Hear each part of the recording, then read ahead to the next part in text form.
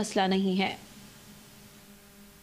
कराची के निजी स्कूल में South Asian junior and cadet table tennis championship का आगाज़ हो गया। तीन रोजा इवेंट के इफ्ताही रोज जूनियर्स मुकाबलों में पाकिस्तान ने नेपाल को दो के मुकाबले में तीन सेट से, जबकि मालदीव को सिफर के मुकाबले में तीन सेट से शिकस्त देकर दूसरे मरहले में रसाई हासिल कर ली।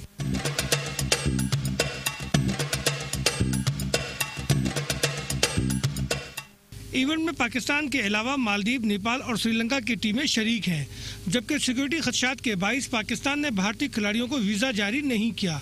मुझे बहुत प्राउड फील हो रहा है कि ये जो है चैंपियनशिप ये पाकिस्तान ने कराई है और भी कराची में जो इतना अच्छी सिटी है। There no problem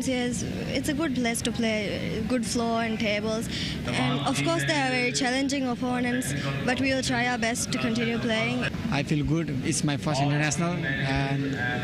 it's been awkward to me to play here, but now first time, so I didn't play well, I think, but I will do my best from next time also. Everything's really good. The hospital, uh, hospitality is uh, perfect. Event के मुंतजमीन का कहना है कि कराची में अमन की बहाली के बाद पहले शहर के मैदान आबाद हुए और अब ऑडिटोरियम भी आबाद होने लगे हैं कैमरामैन रेहान वहीद के साथ Asghar Azeem metro one news Karachi